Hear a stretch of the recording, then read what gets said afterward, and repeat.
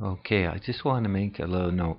Uh, when I tested the LiteHawk, it lasted about a hundred times, but this little small one doesn't last long. So you buy two LiteHawks at ninety dollars and three at thirty dollars, the flight times probably work out the same.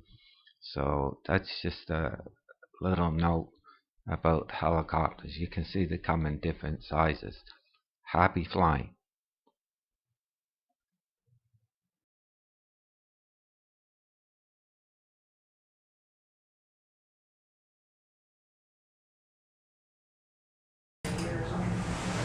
Hi, my name is Steve Andrews. I'm coming from you from Toronto, Canada.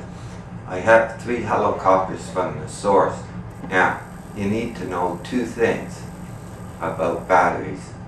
And first thing is all the alkaline batteries are 1500 milliamp batteries. So I've tried eight different sets. Now the best buy are Canadian Tire, the you get 48 for uh, for $12, which works to 25 cents. Now, this LiteHawk here, if you check the battery, it's around 200 milliamps. So you take 1500 divided by 200. Now, the second thing is you can fly it about 100 times. So that gives you about $30 in batteries, 20 to $30 in batteries.